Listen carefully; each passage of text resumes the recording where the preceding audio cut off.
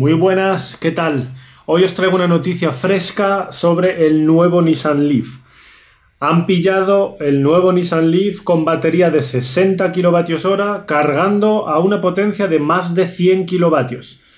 Como referencia, 120 kilovatios es la potencia máxima a la que un Tesla puede cargar en un supercharger de Tesla. Estos serían 100 kilovatios, lo cual se acerca mucho, muchísimo a esas velocidades de carga que tan rápidas os resultan cuando vais a cargar un Tesla en un supercharger.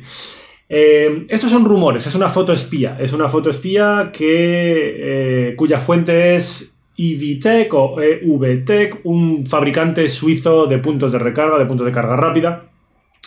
Y bueno, ya, ya venían oyéndose rumores sobre la llegada de un Nissan Leaf con batería de 60 kWh para el año 2019. Esto lo confirma.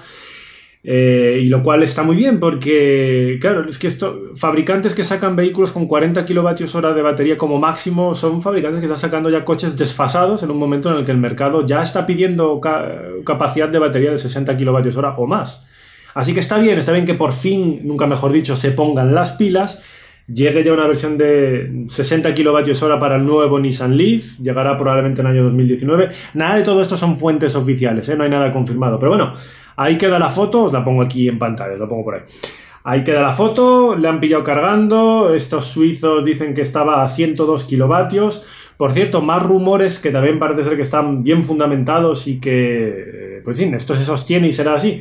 Eh, más rumores dicen que la potencia del motor del Leaf con esta batería de 60 kilovatios hora subirá a 160 kilovatios. ¿Que cuánto es eso en caballos? 210 más o menos. 210 caballos. Eso está muy bien. Y además dicen por aquí que vendrá con un cargador a bordo de entre 11 y 22 kilovatios. Esto se traduce en más de 100 kilómetros de autonomía por cada hora enchufado cargando en, el correspondiente punto de carga que dé hasta 22 kilovatios. Claro, no hay muchos, pero los hay.